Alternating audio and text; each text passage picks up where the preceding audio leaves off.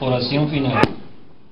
Bendita y alabada sea la sacrosanta e individua Trinidad de nuestro gran Dios y Señor, Padre, Hijo y Espíritu Santo, tres personas distintas y un solo Dios verdadero, en quien creemos, a quien amamos, de quien esperamos el perdón de nuestras culpas y la salvación eterna, por su infinita misericordia.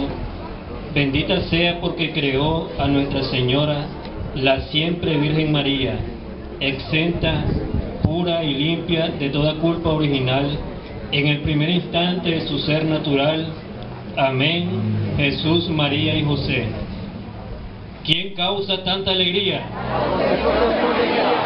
María de Nicaragua. Nicaragua de María. Que viva la Virgen. ¡Que viva!